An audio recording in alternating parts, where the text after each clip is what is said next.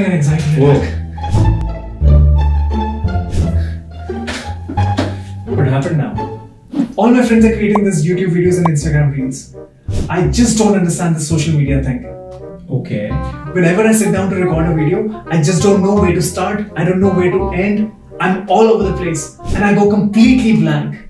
That is it? If that is the case, my friend, you're in luck. Because I found a solution to your misery. That was a bit dramatic. No, seriously, I have a solution for you. Follow this four step video formula. Number one, start with a problem. Ask a question. Number two, talk about the frustration that it is causing them. Number three, give them a solution to their problem and how your services can help them out. And number four, call to action. By the way, this video is exactly made on that formula. Wow, just copy that. Follow me for more such tips.